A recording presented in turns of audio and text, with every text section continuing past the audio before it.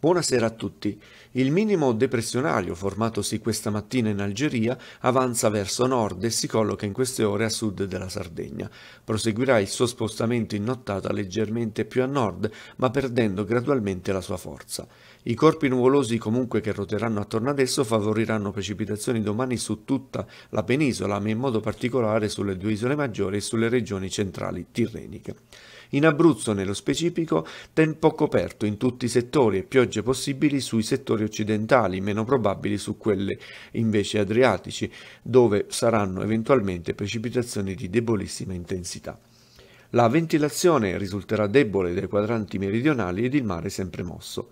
Infine un'occhiata alle temperature, le minime della prossima notte saranno stazionarie comprese tra 4 e 10 gradi e anche per le massime valori stazionari e compresi tra 9 e 14 gradi. Buon proseguimento di serata.